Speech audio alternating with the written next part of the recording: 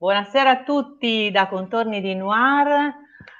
Questa è una serata davvero eccezionale. Io sono molto emozionata nel presentarvi Alessandro Robecchi. Buonasera Alessandro. Buonasera, ciao Cecilia, ciao Luciano, ciao a tutti. Ciao. Ciao, ciao. Grande, grande scrittore italiano, conosciutissimo, poi appunto adesso vi racconterò qualche cosina su di lui, ma proprio il minimo indispensabile perché è uno degli autori italiani più letti e quindi io sono felicissima di, di presentarlo questa sera insieme a Luciana Fredella che già conoscete, che avete visto, blogger, collaboratrice di Contorni di Noir, folle per i gialli e quant'altro che metterà sotto torchio il nostro autore stasera. E quindi sono molto molto felice di parlarvi di Alessandro. E intanto vi racconto, siamo qui per presentare il suo nuovo romanzo titolato Flora per Sellerio Editore e quindi che Flora è un personaggetto particolare di cui parleremo. Intanto è un ritorno di Carlo Monterossi, personaggio che Alessandro Robecchi ha creato e siamo al suo ottavo romanzo.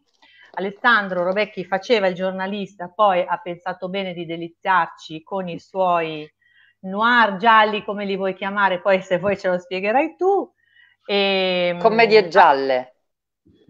Chiamiamole commedie gialle, ma con litigheremo una... su questo punto. Litighe, esatto, benissimo, aperto Bene, il dibattito. Iniziamo. e eh, appunto siamo all'ottavo romanzo con Carlo Monterossi, voglio dire che comunque Alessandro attualmente è nella squadra di autori che scrive i programmi e gli spettacoli di Maurizio Crozza, collabora con alcuni giornali come Il Fatto Quotidiano, Tutto Libri, della stampa e Micromega. Quindi, eh, ripeto, c'è, ci sarà eh, anche in questa storia Carlo Monterossi, ormai personaggio amato dai tuoi lettori, e vorrei che iniziassi proprio tu a raccontarci eh, chi è mm. Flora e che storia ci racconti questa volta. Uh, dunque, per una volta la, la, la, la, trama non è così segreta con, con, come negli altri gialli, anche miei, diciamo. Uh, Flora De Pisis uh, viene rapita. Flora De Pisis, per chi ha già letto qualche storia del Monte Rossi, lo sa e gli altri lo impareranno qui, è la regina della TV, come posso dire, eh, il trash spiegazione molto semplice, insomma con la TV del dolore, delle lacrime facili, dei disastri familiari, eh, delle, de, de, delle, cose private squadernate davanti a tutti e tra queste anche la cronaca nera, quindi insomma anche come dire, dolori veri e storie brutte, insomma tutto squadernato senza alcun pudore davanti a tutti. Flora è come dire, la regina di tutto questo, grandissimi ascolti, quindi grandi incassi, quindi grande popolarità, eh, cosa non campata per aria, perché se andate a vedere le tabelle Auditel di quei programmi lì, ce n'è 4, 5, 6 in natura, vedete che fanno sempre 5 milioni, 6 milioni, cioè oggi 6 milioni di persone in Italia sono un partito di maggioranza relativa, diciamo. eh, e quindi si pensa sempre alla TV come un elettrodomestico un po' in disuso, eh, i, miei figli lo guardano come io guarderei un grammofono, però, eh, però ha sempre un grande peso sul, sulla vita della gente e del paese. Insomma, viene rapita e i rapitori ehm, chiedono, oltre a soldi naturalmente, un'ora di diretta TV libera senza controlli, senza filtri, senza spazi pubblicitari, senza, insomma totalmente autogestita da questi pirati, diciamo così, e cosa vorranno dirci in quest'ora di televisione? E soprattutto gliela concederanno, si potrà fare, il paese si divide, insomma. Monterossi viene incaricato delle indagini perché all'inizio si pensa di tenere nascosta la faccenda, cosa che poi naturalmente non riuscirà e, e, e quindi avremo il Monterossi con la sua squadra di, di, privati, diciamo così, Oscar Falcone, la Cirielli, insomma i suoi amici investigatori che seguono le loro piste, mentre il paese impazzisce, si divide, partito della trattativa, partito della fermezza.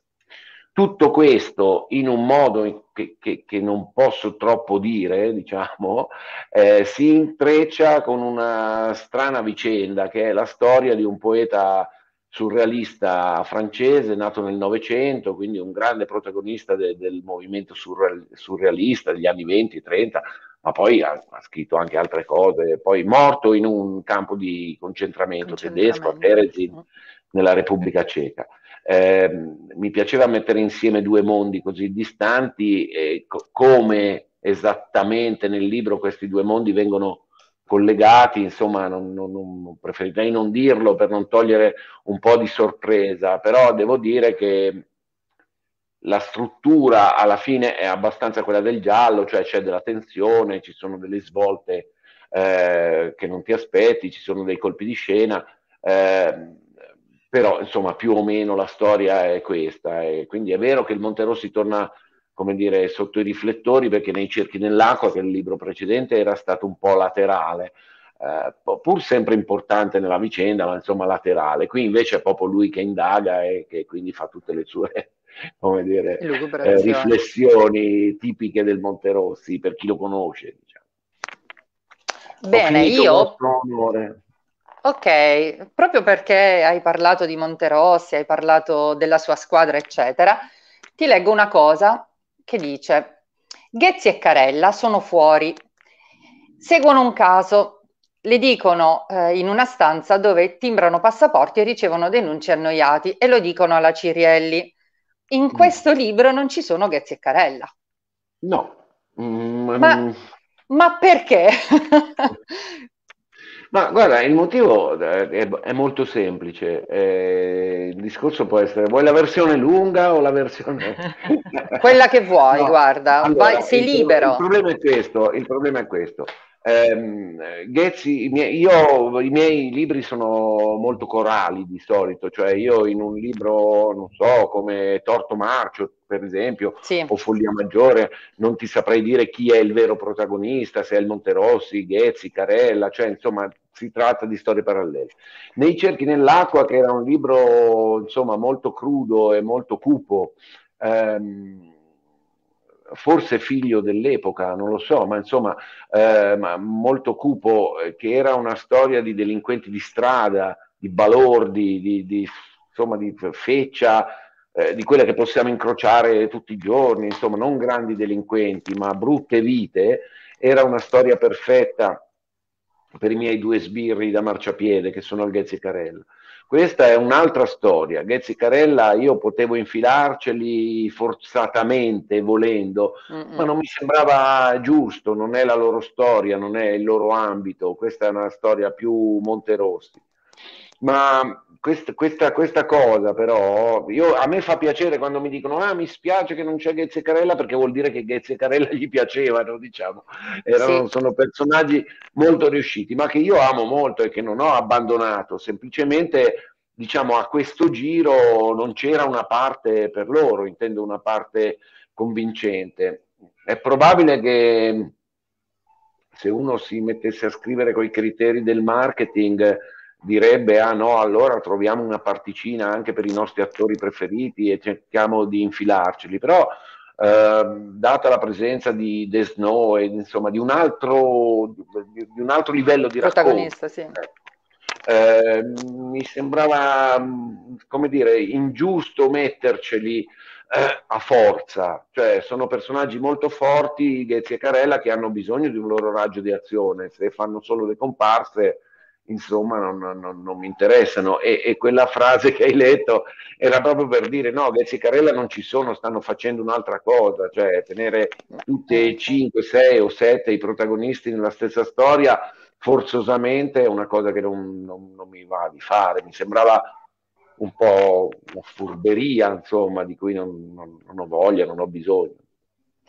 Senti, io ho fatto una cosa, una cosa che fa, uh, che poi fanno un po' tutti quelli che ehm, all'interno del libro vengono per, per la prima volta eh, a sapere di Robert, eh, di Robert Desno.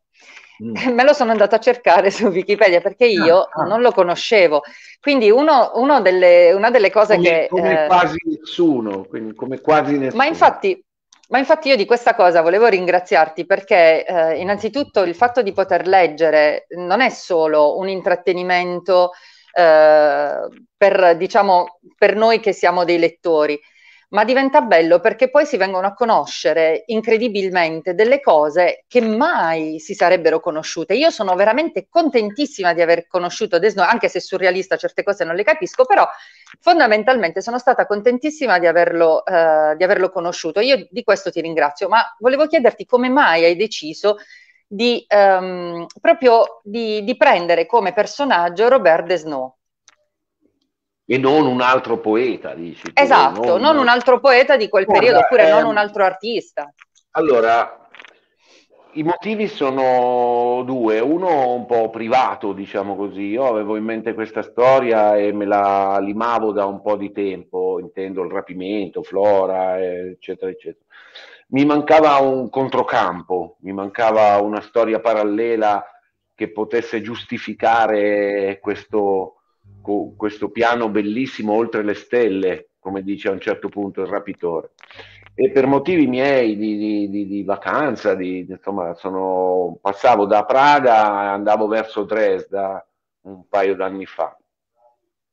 E mi sono fermato al, al, al campo di concentramento di Terezin in Repubblica Ceca, Terezinstad, che tra l'altro era il campo dei bambini, quindi cioè, vi lascio immaginare la, la sofferenza che c'è tra quei muri lì, c'è anche il museo, eh, insomma è, una cosa mo- è un'esperienza molto forte, di quelle esperienze che quando sei lì è, ti, ti, rigetta indietro, però è, bisogna farla, è una cosa civile, giusta, la memoria di quella roba lì. E, e in quel campo agghiacciante c'è una, come una nicchietta tra due muri con un alberello verde con scritto qui è morto Robert Desno, poeta resistente e anche per me Desno era sconosciuto, era un nome che avevo sentito, ma ai tempi del liceo, quindi diciamo, in un altro secolo letteralmente. E, e quindi ho incominciato a leggere, a studiare, a cercare tutto quello che si trovava su Desno, tra l'altro in italiano non c'è molto, quindi ho dovuto anche rispolverare il mio francese e leggermi delle monumentali biografie, le poesie d'amore di Desno, le filastrocche per i bambini, ha fatto Fantoma alla radio, cioè insomma era un, un vero talento, oggi diremmo pop, no? Uh-huh. Eh, ma era un grande rivoluzionario dal punto di vista della lingua, della poesia, oltre al fatto che ci sono delle poesie d'amore di The Snow, qualcuna la trovate nel libro, sì, eh, sì.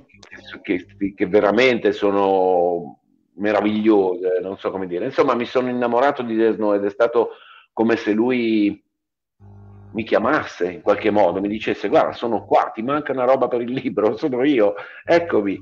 E, e, e questo mi è sembrato bellissimo. Dopodiché eh, studiando ho capito che The Snow era esattamente quello che mi serviva, perché io volevo contrapporre alla merda che ci fanno digerire ogni giorno. Eh, eh, questa banalità, questa pornografia dei sentimenti con, con un controcanto che fosse invece un, un, sentimento vero, un rivoluzionario vero, uno che cambiava le cose, cioè anche la contrapposizione e eh, come dire, la nostalgia, anche se io naturalmente negli anni 20 a Parigi non c'ero naturalmente, però eh, come dire, la nostalgia per un movimento culturale che muove le cose, che cambia i parametri della società, mentre oggi qui siamo impantanati nella mediocrità più totale, no? senza coraggio, senza nessuno che strappa. E, e, ecco, e, e, mi è venuto in mente che un'epoca come quella di Parigi degli anni venti, così viva, vivace, luccicante, ehm, esagerata, non so come dire, che osava, ecco, eh, o- oggi sarebbe eversiva, sarebbe meraviglioso avercela per le mani. Io l'unica esperienza che ho fatto di, di una corrente culturale che ha cambiato un po' le cose, eh, posso dire che è stato il punk, no? Eh, per esempio, eh, però insomma anche il futurismo russo nel 18, nel 20 non era male, insomma ci sono stati dei momenti in cui è scoppiato tutto per merito di quattro poeti sfigati, ubriaconi, eh, come, però geniali. Ecco, quella roba lì mi manca, volevo contrapporla alla nostra mediocrità. Spero di eh, in questo... Eh. Sì, sì.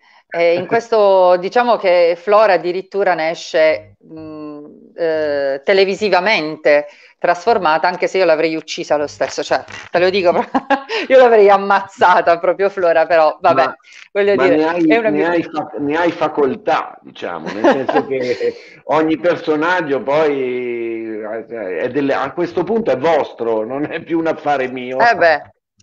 Senti, vi interrompo, il... scusa, vi sì. interrompo solo un attimo, intanto per ricordare appunto a tutti quelli che ci stanno ascoltando che di non lasciarsi scappare questo, questa ghiotta opportunità di fare domande a Alessandro e proprio Diamila, eh, riferito al discorso che si faceva prima sui personaggi, chiede, tutti i personaggi ci piacciono, dare loro un posto da protagonisti a vicenda è un'idea da portare avanti?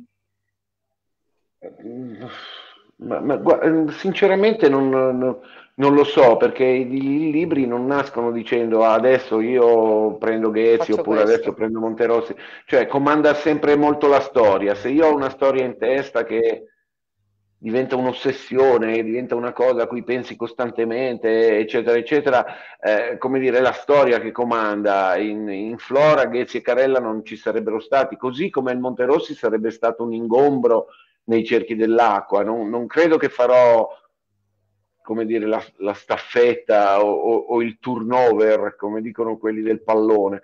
Però a volte nelle storie ci, ci starà uno, a volte ci starà l'altro. Può anche capitare che ritornino tutti insieme, perché no? Però è la storia che lo decide.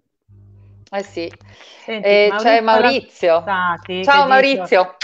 che salutiamo. Eh, di, dice ho avuto l'onore di ospitare una delle bimbe di Teresin, ora ultra ottantenne di New York, sono cose che lasciano il segno.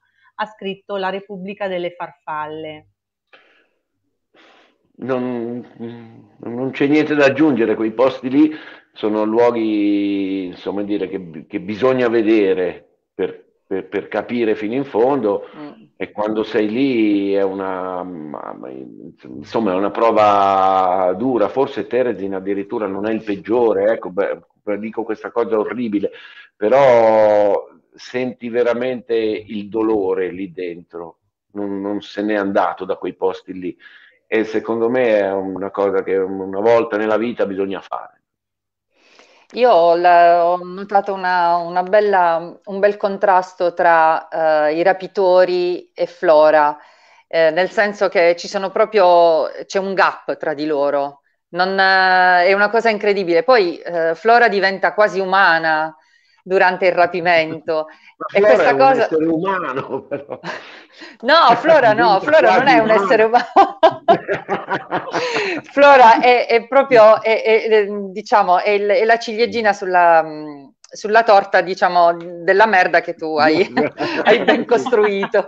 Per cui, voglio dire, però, le, il, diciamo, i rapitori... Mm, sì, il rapporto è molto, è molto contrastante fra di loro a livello intellettuale.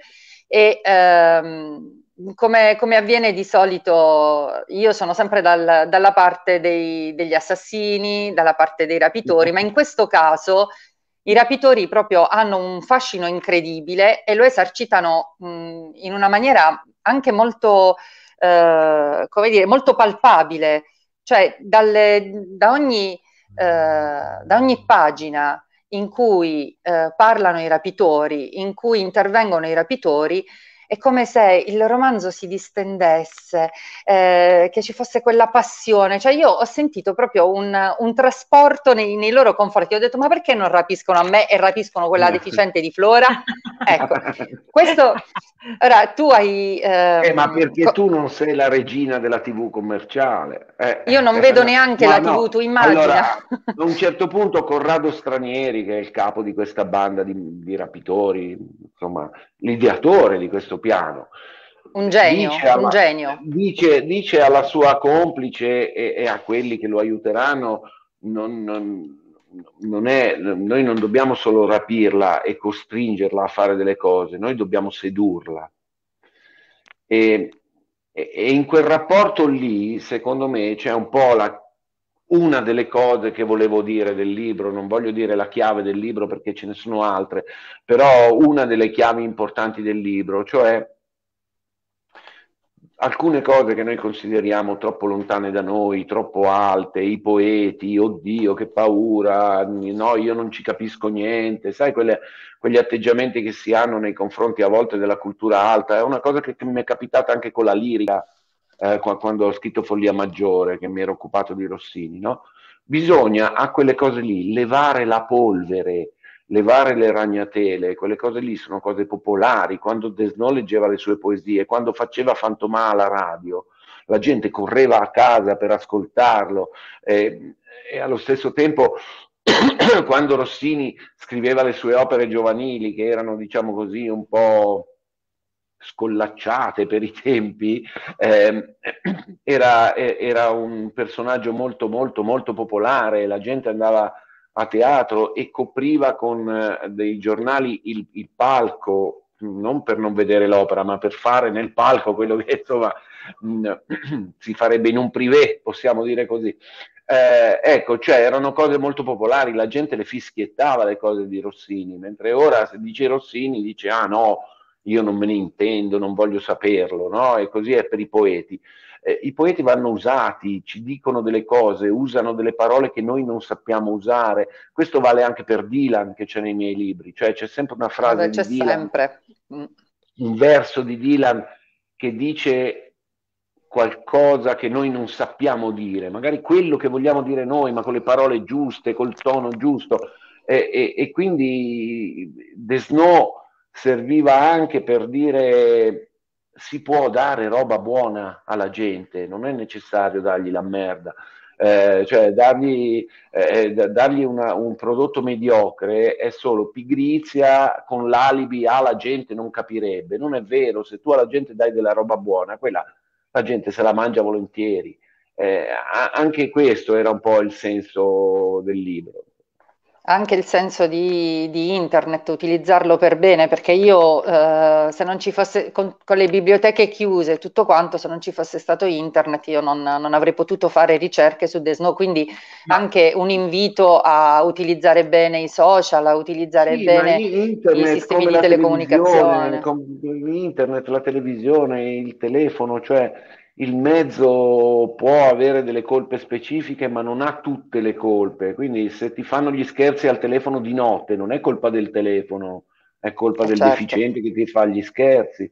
Eh, questo voglio dire, cioè c'è un mezzo eh, usato male, secondo me, usato male per fini commerciali, che è peggio ancora, in cui si squaderna senza pudore la vita della gente. Non va bene, bisogna parlare delle vite della gente bisogna parlarne in un altro modo, con più rispetto. Ecco, forse un poeta del 1920 ce lo insegna meglio di un esperto di televisione di un secolo dopo. Eh. Io ho visto che sia eh, Flora che Un colpo al cuore di Pier Giorgio Pulixi più o meno hanno intrapreso la stessa, diciamo, la stessa direzione. Io non so se tu hai avuto modo di leggere Un colpo al cuore. No, no, lo dico anche scusandomi con, con Pier Giorgio, che è un amico che mi ha intervistato più volte, con cui abbiamo chiacchierato spesso, eh, mi scuso con lui, ma io insomma tra la scrittura del libro e poi le bozze, le seconde bozze, la revisione,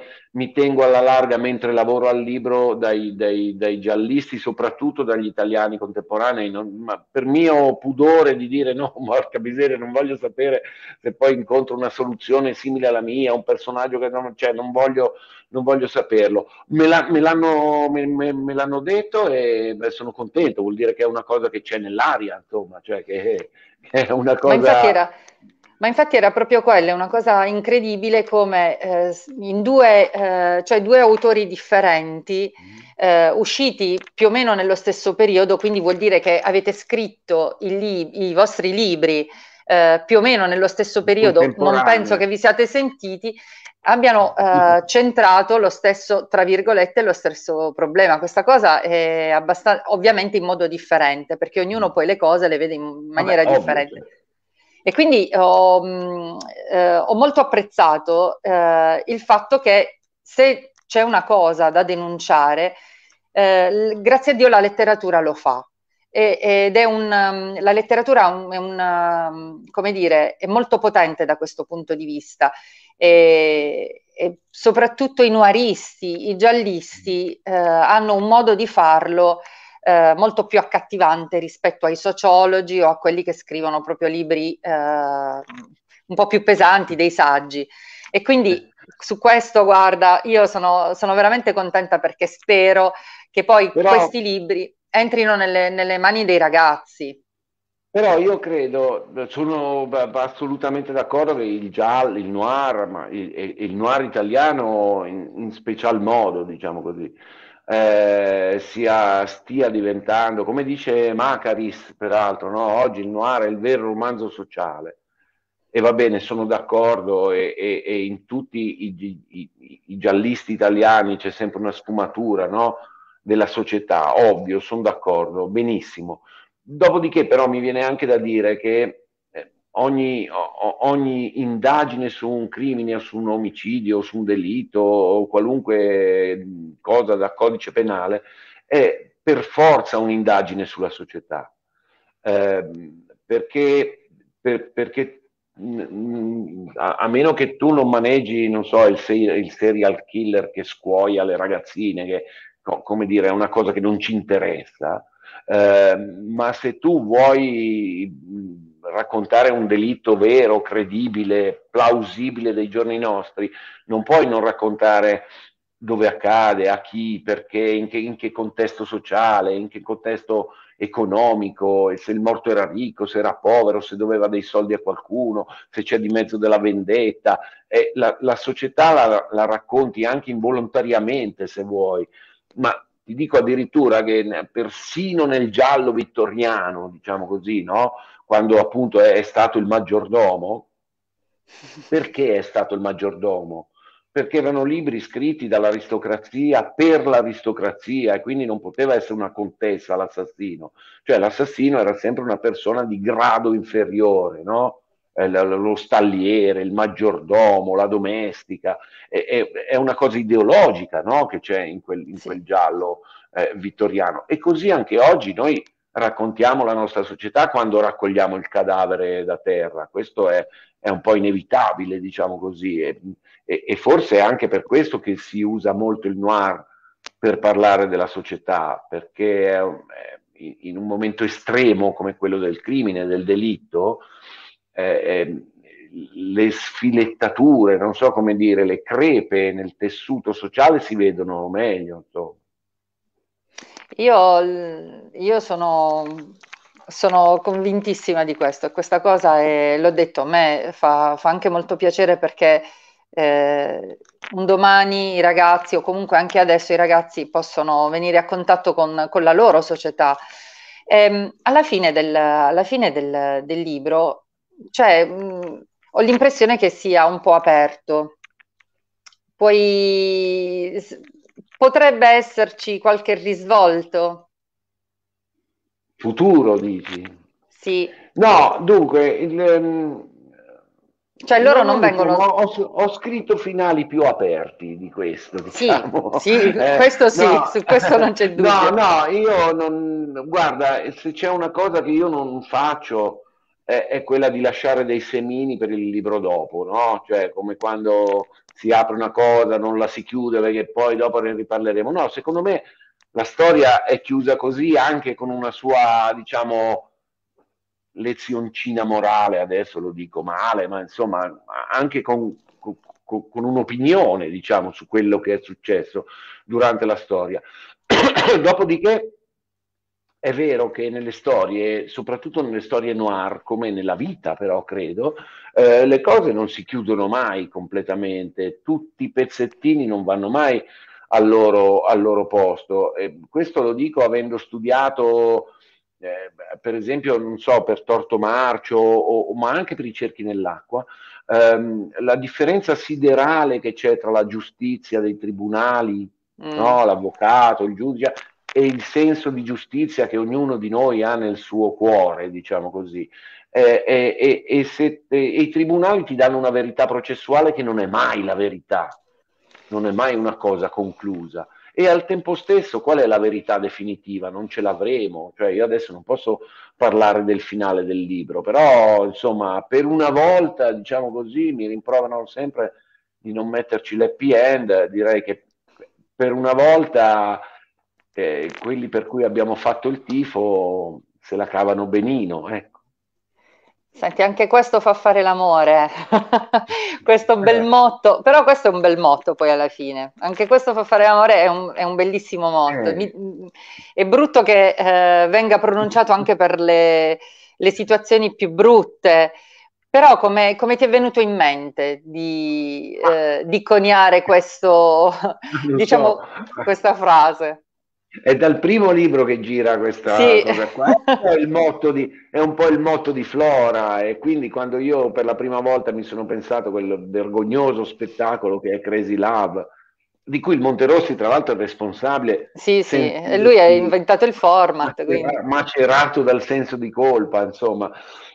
E poi in tutti i libri successivi lui lavora per mollare quella roba lì, per andarsene, ma insomma l'ha inventata lui, è inutile che ci giriamo intorno. E quindi volevo dare a questa cosa un, anche una sua credibilità di spettacolo, cioè quando Flora dice anche questo fa fare l'amore e conclude con questo slogan, diciamo così, tutte le storie che presenta sia che finiscano bene, sia che finiscano male, per, per, divorzi, crisi, gente menata, insomma, comunque Flora ha questo suo modo di infiorettare la cosa. Sì, eh, ma mai in, come in questo libro, secondo me è azzeccata. Eh, sì. questo, sembra Vabbè, proprio che i libri libro... siano, stati, siano, stati preparati perché poi la frase fosse accadente eh. in questo, in questo no, libro, no, incredibile. Semplicemente avevo un personaggio che era già comparso molte volte e che in questo caso si prende la scena in modo clamoroso, diciamo così, è la sì. vera stella del libro, eh, era ovvio che la sua frase preferita diventasse una specie di marchio di fabbrica. Ecco. Ci accade proprio, ci accade tantissimo. Ma eh, Stai, stai, progettando qualche altro libro? Stai scrivendo? Cosa stai facendo? No, no, no, adesso il mio, io non intendo derogare dal mio ritmo, diciamo così. Credo che, mm, che credo che un, un, romanzo di 400 pagine all'anno sia il suo tempo, cioè io devo avere una storia in testa, devo limarmela per bene e quando l'ho limata la de- destrutturo come, come, come, fanno i cuochi che, che, ti danno il tiramisù destrutturato, diciamo, una, ecco, poi la rimetto insieme, insomma, io quando mi scrivo al, com- a- al computer a scrivere eh, vuol dire che la storia ce l'ho già in testa e questo ha preso qualche mese.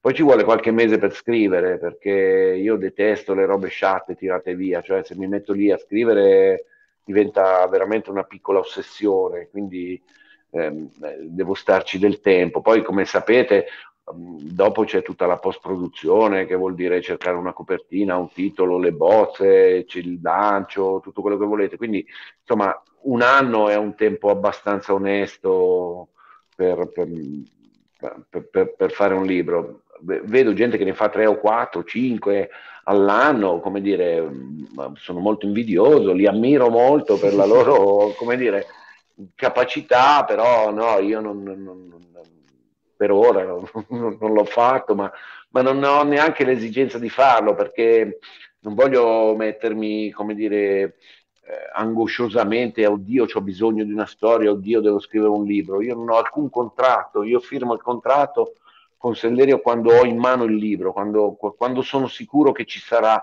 il libro, quindi non ho fiato sul collo di qualcuno, per ora mi sono tenuto, sentito benissimo e trovato benissimo con il mio libro all'anno. Ecco, diciamo. sì, avevo, una curiosità, avevo una curiosità Alessandro. Certo. Ho letto che il Salone del Libro di Torino ti ha fatto adottare per tre lezioni mm. da una classe di studenti. Sì. Che, che, cosa devi fare esattamente? Che cosa ti hanno chiesto ma, di fare?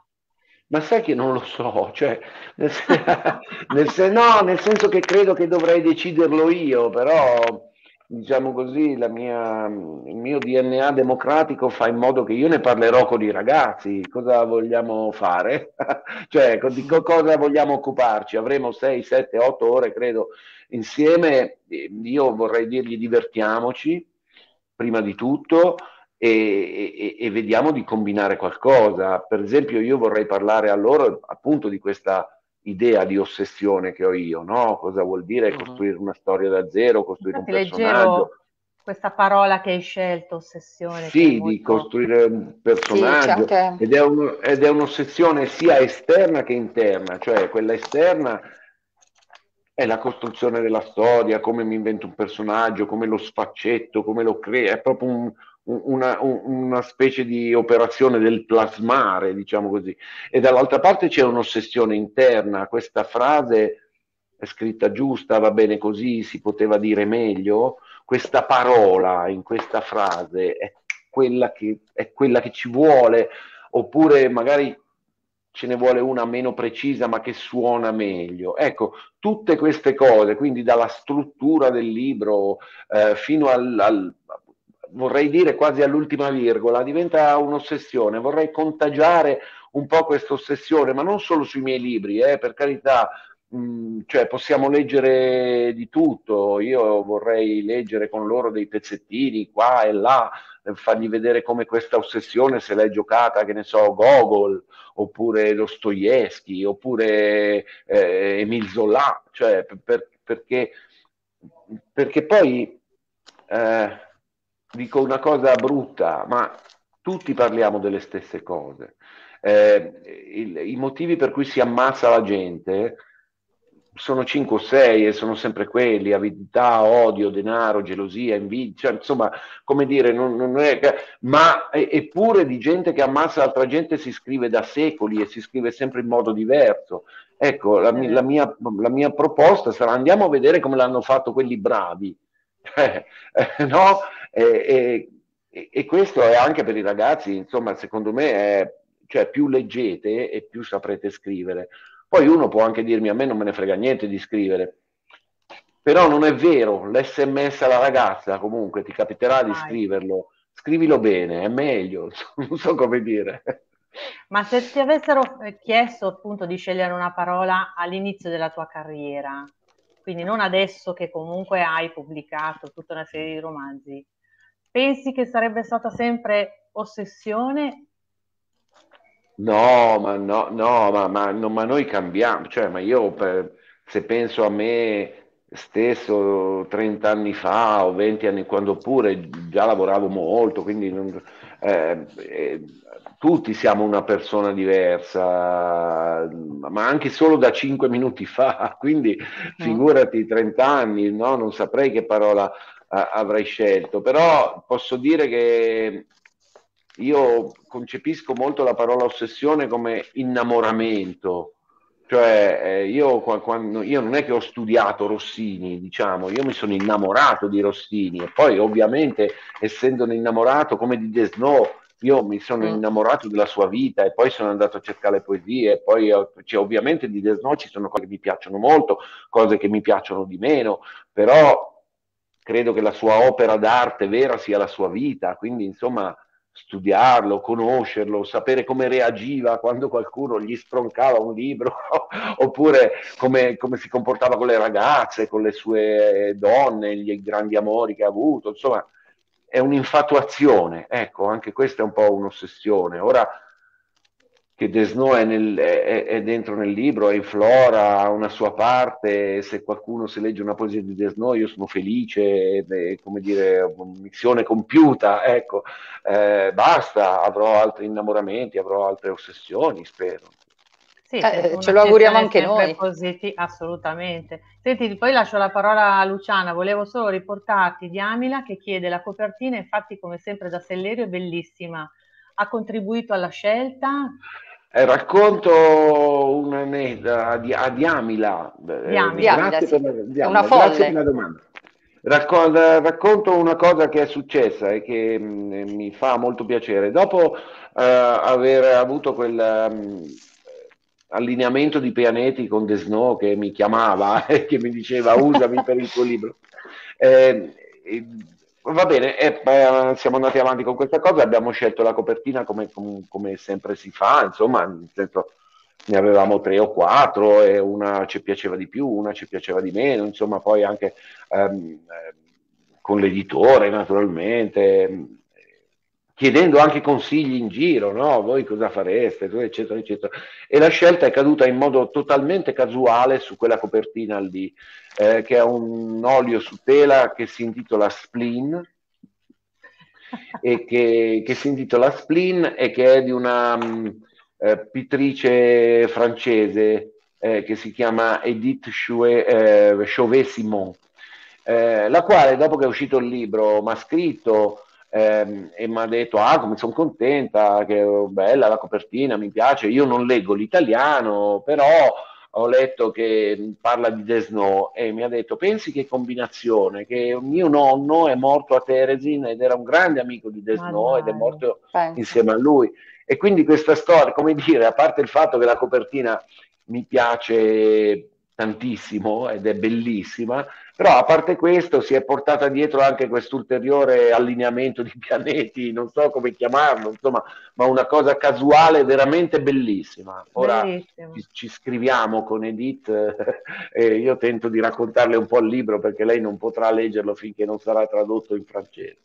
Carlotta Peronzini caso... scrive sì, secondo, me pubblic- no, figurati, secondo me dopo la pubblicazione di Flora i, libri di The Snow hanno avuto una felice seconda vita sicuramente molti andranno. Lo spero, lo spero, c'è una, l'unica raccolta di antologia di poesie eh, in, in, italiano è, è, pubblicata da un editore molto piccolo e quindi io spero, spero che non solo che l'editore piccolo che pubblica The Snow faccia, faccia fortuna, insomma, insomma, ne stampi di più, ne venda di più, ma anche che eh, magari ci, si risvegli un nuovo interesse su The Snow, perché no? Ma insomma, alla fine è un poeta, non facciamo niente di male, no?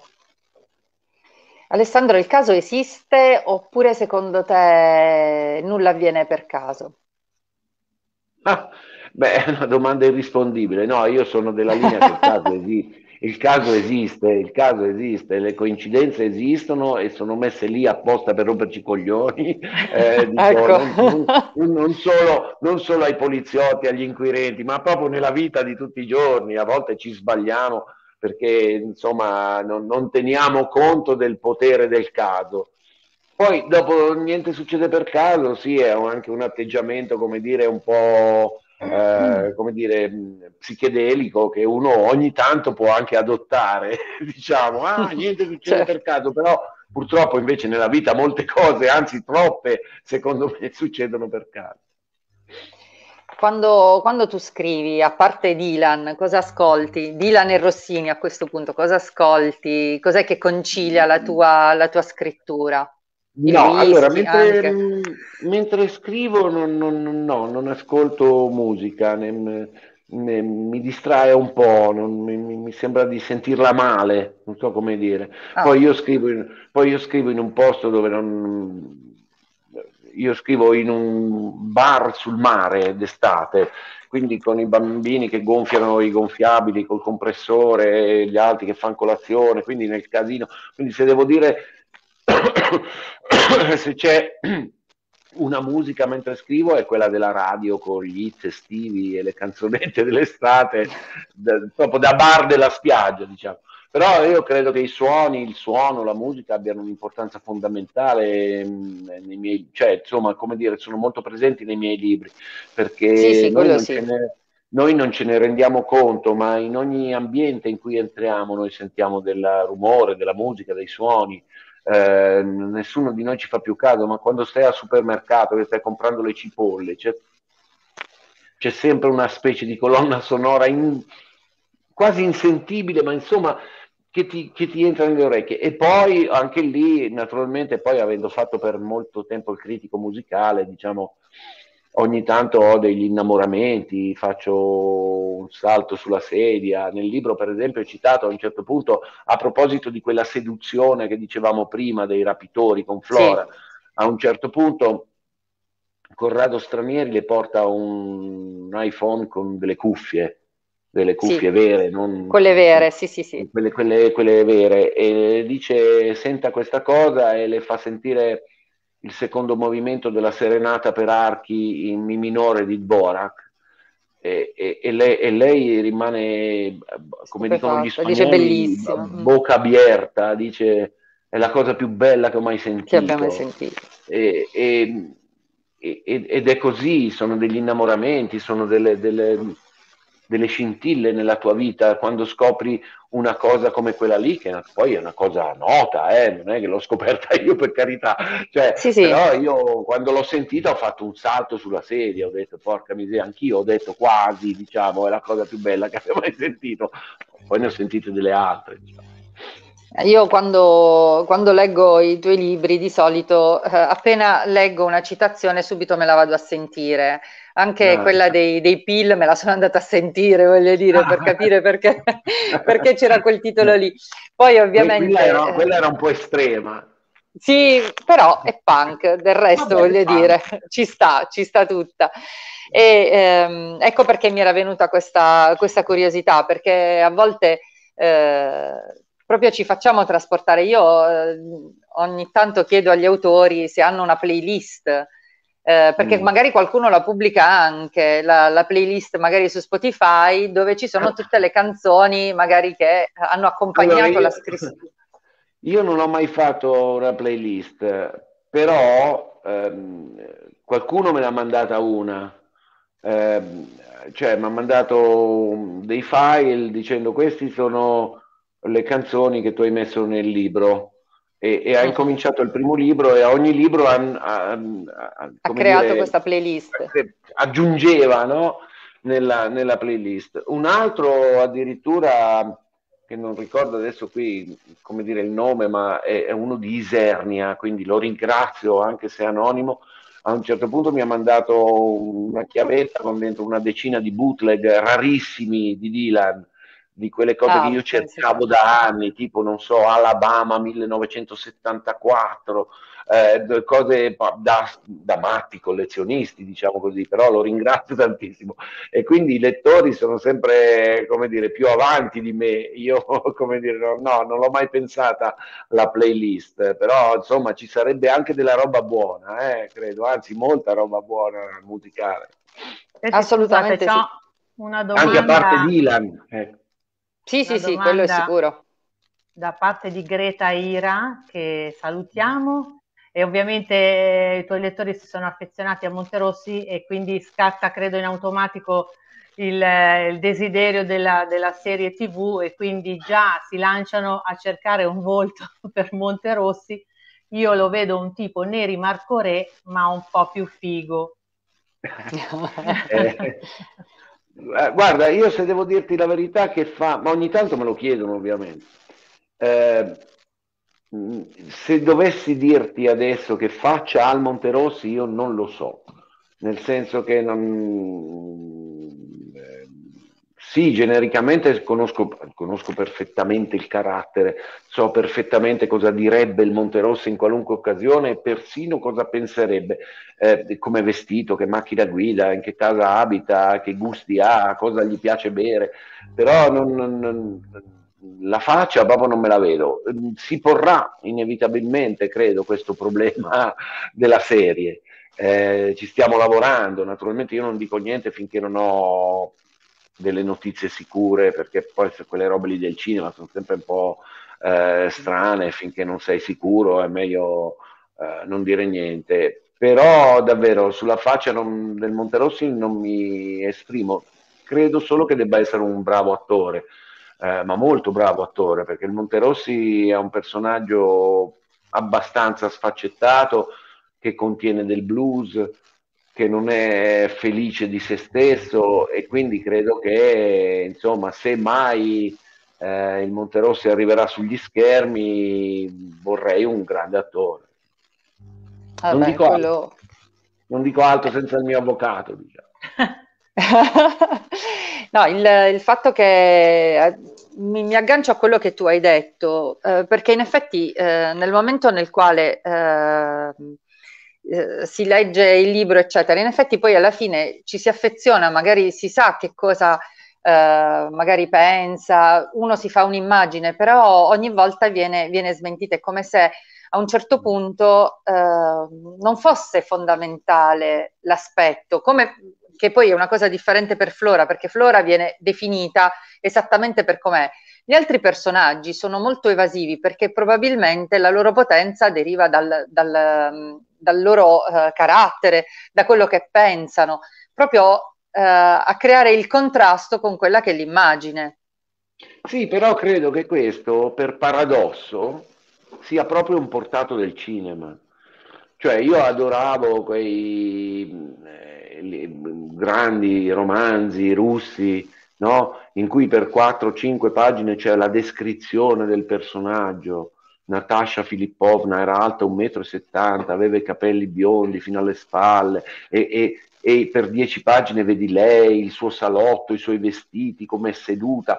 Ecco, credo che dopo il cinema, diciamo, questa cosa qua non, non si trova più. Un, un, personaggio è descritto mentre agisce, per come si comporta, per come parla, per quello che pensa, per, come, per quello che dice. Credo che l'aspetto fisico, è, che ogni tanto ovviamente bisogna un Qualcosa po' Qualcosa esce, sì, sì, certo. Esatto, sì, ma non sia fondamentale. Ovviamente quando questo diventa un attore in carne e ossa che incarna il personaggio, la faccia diventa fondamentale, però io ci tengo a dirlo, è un altro mestiere, cioè anzi io sono molto curioso di vedere come il mio lavoro, che è quello di scrivere i libri, sarà eh, rilavorato da gente brava, attori, registi, cioè ehm, sarà mio e al tempo stesso però sarà anche loro, non voglio, capito, eh, credo che siano due linguaggi diversi e, e te, te, si tenterà di dire di raccontare la stessa storia con due linguaggi diversi. Cos'è quel, quella caratteristica che non dovrebbe assolutamente mancare in un personaggio televisivo? Per quanto riguarda sia Monterossi, ma, tu, ma tutti i tuoi, i tuoi, personaggi, perché magari... Ma no, ma dimmi, dimmi. Io credo che, io credo che mh, molto spesso in, in alcune fiction che vedo la, il difetto del personaggio è che sia un po' tagliato con l'accetta, che sia monodimensionale, mentre io ci tengo molto che i miei personaggi siano più sfaccettati. Cioè, il Monterossi è un caso di scuola perché è uno servito, riverito, molto ben pagato per fare una cosa che lui detesta.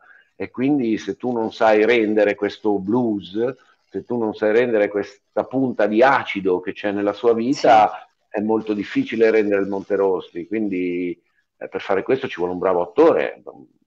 Credo che lo troveremo. Ma io per questo te lo, ma io per questo te lo chiedevo, proprio perché ci sono eh, dei tagli, cioè per chi legge i libri e poi magari si incuriosisce e vede le fiction, mm. molto spesso ci sono delle cose basilari dei romanzi che vengono totalmente ignorate perché ovviamente, come dicevi tu, la fiction è un linguaggio totalmente differente per cui magari eh, si creano anche delle delusioni e, e, quindi quella che è la caratterizzazione del personaggio viene smentita. Ecco perché ti chiedevo eh, cosa non dovrebbe assolutamente mancare in Monterossi, ma a questo punto anche in Ghezzi, in Carella, anche in, uh, in Falcone. Sono cose che... Eh, caratteristiche speciali che li rendono unici e che non dovrebbero mai mancare. Quindi... Sì, ma mi, accont- mi, accontenterei che avessero il loro spessore, ecco. Eh, dopodiché, mh, mm, ovviamente, io sono contento se si dice era meglio il libro. Come la maggior parte delle volte. Però non è vero, cioè, secondo me non è vero, secondo me c'è un errore che è appunto aspettarsi da una fiction le stesse identiche cose del libro. È non è così, la fiction è un'altra cosa, presa da quella storia lì, ma insomma persino il, che ne so, cioè, ma la riduzione dei promessi sposi non sarà mai i promessi sposi. I promessi sposi. Sarà sì. un'altra cosa, magari Verissimo. nel suo campo migliore, eh, attenzione. Eh, però non, non, è come se tu mi dicessi, ah che bel libro, adesso facciamo una sinfonia. Eh, e io ti dico, sì, benissimo, ma sarà un'altra cosa, non sarà il libro. Certo. Come consideri i Promessi Sposi? Perché per esempio questo libro ho notato che, che è che un... domanda? Eh, no, te lo spiego il perché.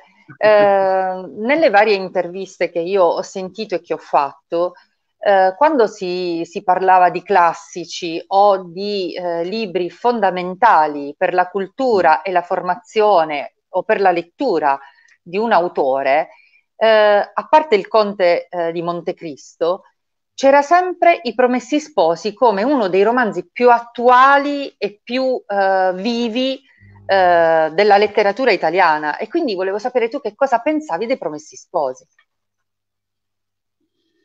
Eh, ma dunque, io ne, insomma, è il romanzo italiano dell'Ottocento, no? Quindi non, cosa posso pensarne? È una roba che fa parte quasi del nostro DNA, l'abbiamo studiato tutti a scuola, nonostante ci siano romanzi dell'Ottocento italiano eh, anche migliori, penso ai Viceré di De Robert, uh-huh. per esempio. No?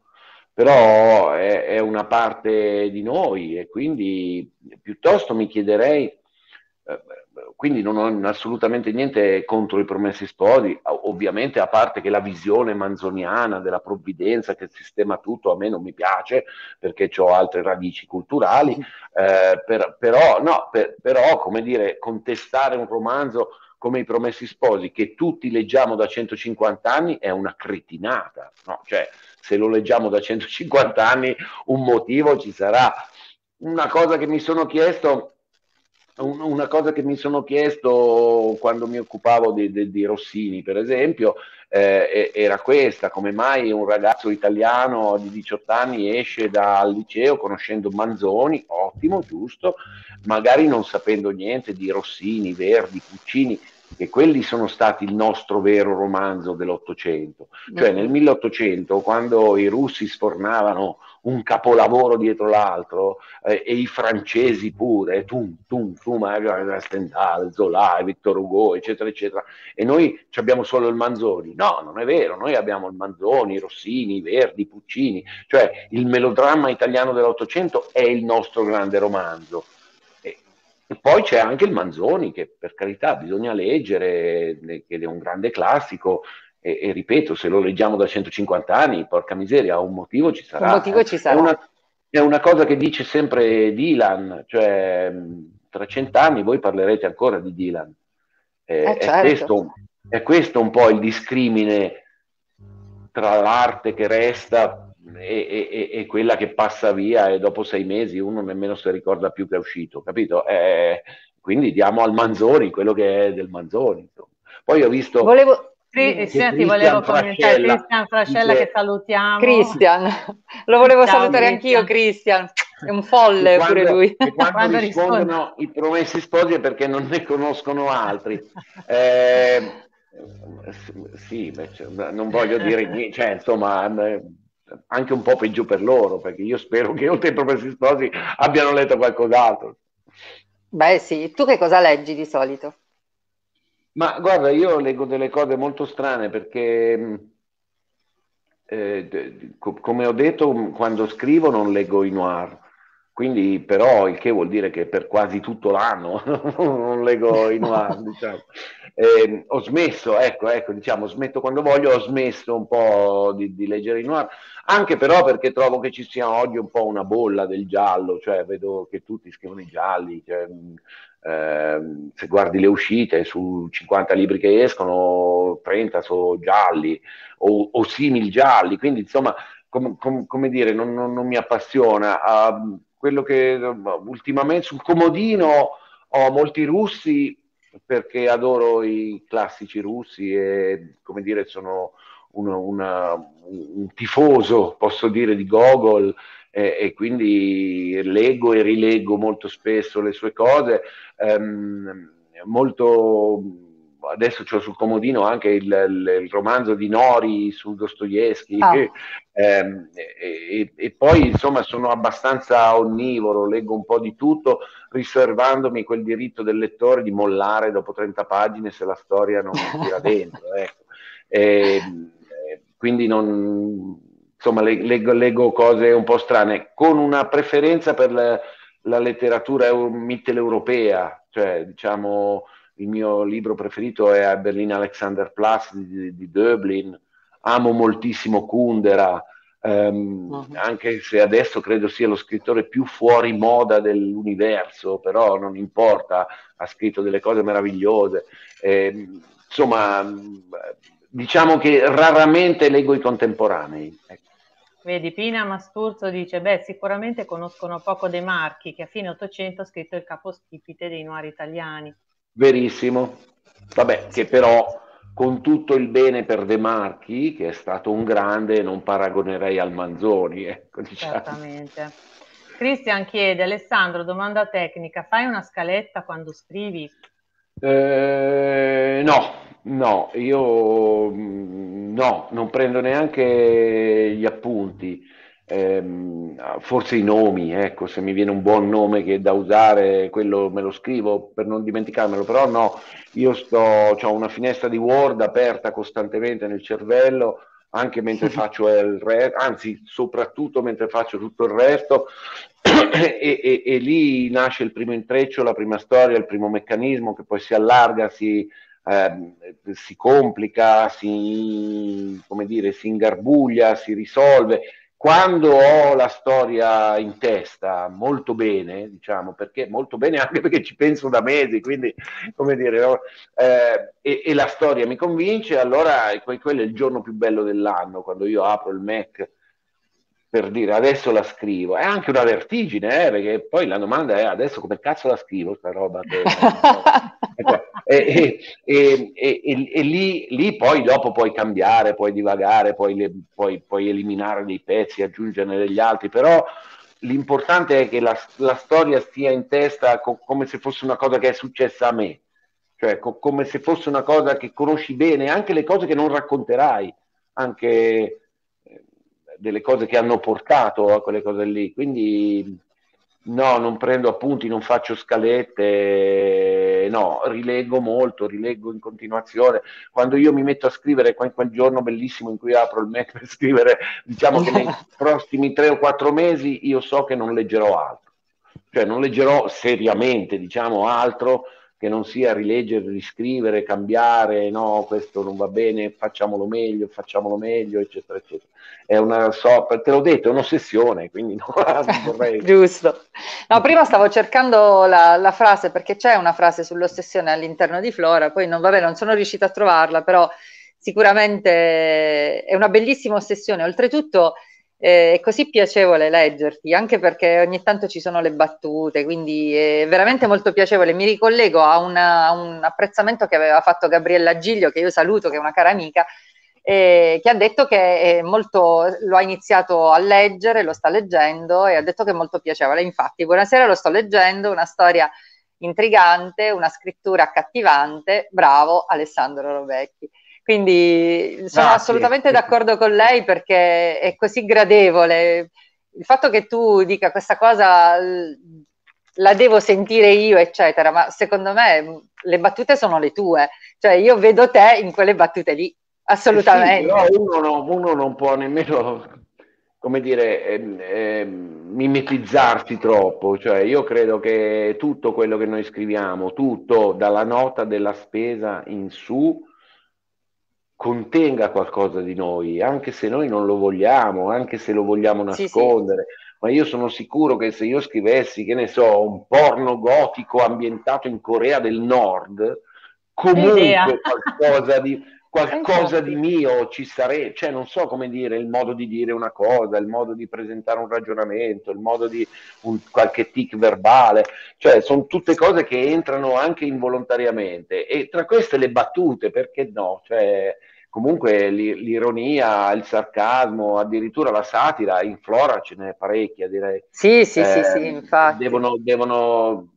devono essere un linguaggio che si mischia agli altri linguaggi, cioè tu, io voglio farti ridere, po- posso farti ridere, ma, ma, ma, posso anche farti un po' piangere e, e, questo, se ci pensi, è quello che succede a tutti noi tutti i giorni, ridiamo, piangiamo, diciamo delle cazzate, delle battute, alcune vengono bene, alcune vengono male, vengono male. Alcune, alcune, magari sono volgari, vabbè, pazienza, e, e, e poi magari però c'è un, un attimo di, di, di sincerità e tristezza che ti rende più malinconico, cioè no, non credo ci sia qualcuno che dice solo battute e, e un altro no, che no, piange no, ma solo. certo. no, no, no, no, assolutamente. È, è, un, è, un, mix, è un mix che secondo me deve venirti naturale, deve fare parte del tuo, del tuo processo mentale. Io credo che scrivere sia pensare delle cose, scriverle e quando sono scritte sono meglio di come le hai pensate.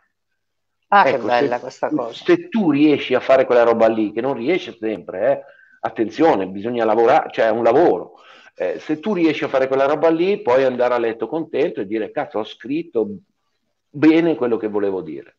Ecco, questo devo dire che delle cose che mi, degli elementi, diciamo così, di soddisfazione che, che, che, ho innegabilmente, le vendite, le classifiche, tutto quello che volete.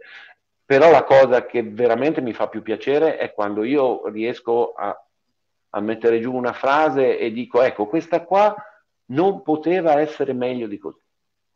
Fantastico. E quindi tu capisci che per me, per me, è anche una sofferenza rileggermi. Io quando mi arriva il libro a casa in quella ma- magica scatola del primo invio, quando tu apri lo scatolone e c'è il libro nuovo, che è anche quello un momento bello della vita, diciamo. E io non, non, non, prendo in mano il libro subito, lascio passare del tempo, lascio passare anche un mese, non, perché ho paura di trovare una cosa che poteva essere detta meglio, poteva essere scritta meglio. E, e tuttora quando ho lavorato con i traduttori francesi per, per la chanson che è uscita in Francia e loro mi chiedevano delle cose su dei pezzettini, eh, come possiamo tradurre questo? E io dicevo, ma cazzo, questo lo, potevo scriverlo meglio. e, quindi, e, quindi, è una tortura, è una tortura. Sconsiglio a tutti quelli che scrivono di rileggersi dopo e, di rile- e invece di rileggersi alla nausea prima. Bene, io penso che eh, qua ci sarebbero altre due milioni di domande, però adesso Cecilia, bene, il marito di Cecilia ci ammazza. esatto. Sarà, sì, perché ormai è rinomato che...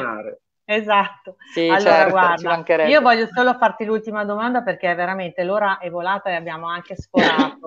e prima di salutarci, volevo eh, leggerti una frase di Raymond Chandler che scrisse almeno la metà dei racconti gialli pubblicati viola la regola che la soluzione, una volta svelata, deve sembrare inevitabile. Quale regola per Alessandro Robecchi deve essere inevitabile all'interno di un romanzo? Ovviamente, cioè, spiegata in pochi minuti. Guarda, io, io per, adesso eh, per, mi prendi un po' alla sprovvista con questa domanda, quindi magari rispondo male, però io credo che in pochissime cose nella vita si sente l'insincerità come nella parola scritta. Cioè, tu puoi mentire benissimo, puoi essere, pu- puoi mascherarti, puoi mimetizzarti, ma quando scrivi farlo è difficile, cioè mentire è difficilissimo. Io posso leggere dieci righe e, e, ti dico subito se lì dentro c'è della sincerità oppure no. Ecco, io la prima regola è dire, dico quello che penso, costruisco le mie storie per dire delle cose che penso. L'ho fatto mm, in, in Follia Maggiore, volevo parlare del rimpianto, che è una cosa che mi interessa. La, la, nei, nei, nei, cerchi, nei cerchi dell'acqua, ma anche in Torto Marcio, volevo parlare della giustizia, de, dell'ingiustizia della giustizia, non so come dire, di, di, sì, di come sì, quello, sì, che legale, quello, che è legale, non è sempre giusto. Eh. Giusto, diciamo, sì, eh, ecco, quindi io, ecco, l'onestà di dire io volevo dire questa cosa, ho costruito questa storia per dire questa cosa. Ecco, se una cosa suona festa per calcolo, perché strizza l'occhio a un certo target di lettori o perché vuole fare il piacione con un altro target di lettori, ecco, quelle robe lì mi irritano. Credo che la mia insomma, una cosa di, di, di, che, che, c'è di sicuro nei miei libri è una sincerità di intenti. Dopodiché troverete magari delle cose anche voi che come me direte questo potrebbe essere scritto meglio, va bene, d'accordo, giuro la prossima volta lo scrivo meglio, però non deve mai venire meno quella onestà con il lettore, insomma, una sincerità. È una bellissima risposta.